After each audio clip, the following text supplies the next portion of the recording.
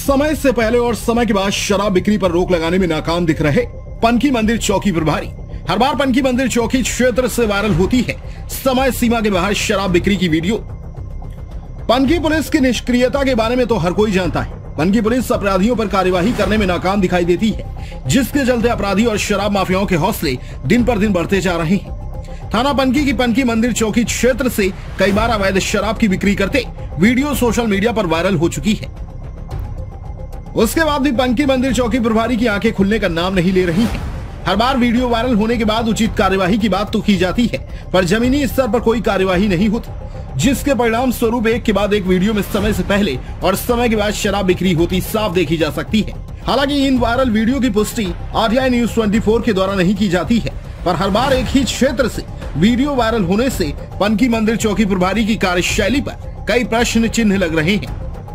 RTI news 24 के लिए सूरज कश्यप की रिपोर्ट। देश प्रदेश की हर छोटी बड़ी खबर के लिए सब्सक्राइब करें हमारा channel R T I news twenty four और बेल आइकन दबाना ना भूलें, जिससे हर खबर आप तक पहुँचा सके हम। सबसे पहले